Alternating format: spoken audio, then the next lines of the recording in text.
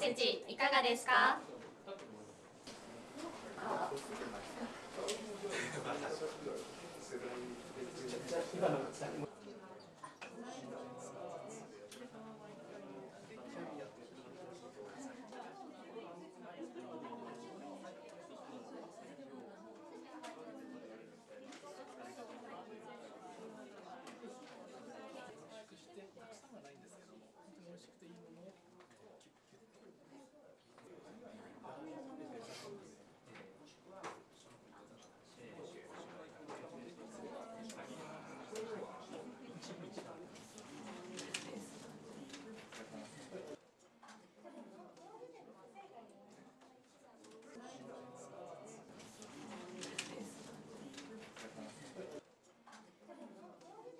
商品をお選びいただく際の分かりやすさ明確化というところが第一義にあると思います。